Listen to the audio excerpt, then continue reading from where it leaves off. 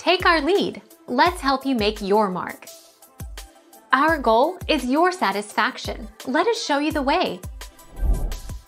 Rose hip's suggested uses include as a rich source of vitamin C, with about 1,700 to 2,000 milligrams per 100 grams in dried product. Remedy for rheumatoid arthritis, reduces symptoms of knee and hip osteoarthritis, helps the immune system to fight off foreign invaders and out-of-control cells, facilitates fat metabolism, protects.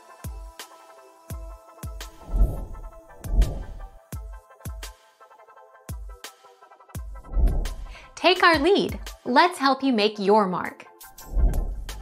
The vitamin C in rose hip can increase iron absorption, which could make your condition worse. Sickle cell disease. It is rare, but the vitamin C in rose hip might make blood more acidic, and this could bring on a sickle cell crisis. It's best to avoid use. Thank you for watching. Please subscribe and hit the bell notification.